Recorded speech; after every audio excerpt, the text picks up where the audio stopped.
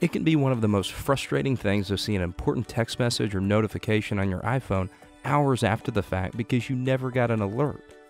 If your iPhone or iPad for that matter has stopped sending you notifications and alerts, don't worry. In this video, we're going to look at some ways to fix your notification issues. If you've owned an iPhone for a while, I'm sure you're familiar with the mute switch on the side of the device, but just make sure it's not on. This will keep notifications from sounding off when they come in. By default, the iPhone will still vibrate if the mute switch is on, but you can change that if you need to in the Sounds and Haptics section of the Settings app. In iOS 12, Apple introduced a useful option to have notifications delivered quietly.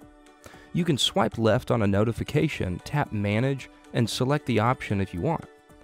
It's good for not being bothered by apps you don't want to get notifications from, but still want to see when you dig into Notification Center. If you're running iOS 12, you may have activated this option on accident.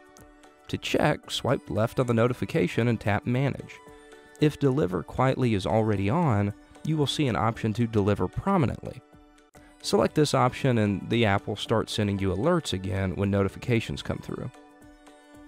If you could have sworn you saw a notification come in but can't find it scrolling through Notifications Center, it might be hiding in a stack. In iOS 12, Apple also introduced group notifications. You can tap on a stack to make it expand and get to the other notifications. Another thing to check is to make sure you didn't accidentally turn on Do Not Disturb.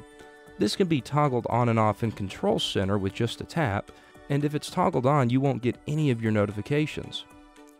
Alright guys, I hope this video helps you out. Check out our detailed article at appletoolbox.com for a lot more insights and suggestions if you're still having trouble with notifications. There will be a link in the description, and I'll catch you guys in the next one. Later.